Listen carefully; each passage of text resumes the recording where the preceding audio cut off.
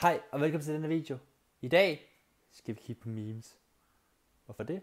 Fordi KSI og PewDiePie gør det. Kun derfor. Nej, jeg tænker bare, at jeg vil lige prøve noget. Lad os søge. Øh, jeg, jeg, jeg tænker, jeg vil prøve noget nyt. Og så, hvis det, hvis det går, så går det. Lad os lige tjekke. Okay, vi ser på Dragon Ball memes. Me right now. Me, me right now looking at the old photos of myself training in back in oh my fucking god. From badass to silly, since then, since I can't, I can't do this. Black Kamehamehas, Black Kamehamehas matter. Son Goku, eh, oh, oh, oh, oh, oh my god, oh my god, oh my god. Det er det guld værd.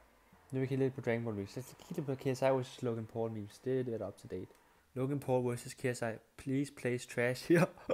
oh my god, der er så nogen, der er rigtig sur over, at det bliver uafgjort. I can't, I can't. After six months non-stop spam, KSI vs. Logan ends in the draw. Wow. This was, this was... Altså 100% jeg kunne godt lide kampen. Jeg synes det var spændende. Jeg synes det var fedt at vinde. Det kan man ikke tage fra dem. Jeg glæder mig til det næste, for jeg ved, at der kommer mere spam. Jeg tror også, nu, nu, nu tager vi noget hurtigt. Lad os tage det sidste her, og så ser vi Donald Trump memes.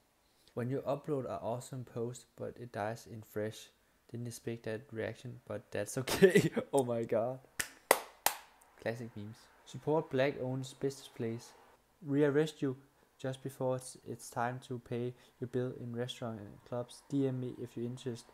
Please support black business. oh my god. Jeg ved ikke, hvad der gør med Donald Trump, men fucking griner. Oh my god, oh my god, oh my god. Hvis I tænker, hvor jeg er, så kommer der en flytteblog om det på et tidspunkt. Øh, snart. Jeg har Bravin med mig. Vi skal snart, vi skal snart, vi skal snart ud og spise. Så jeg er til Sushi Bravin. Jeg vil sige tak, fordi I så med på den her video.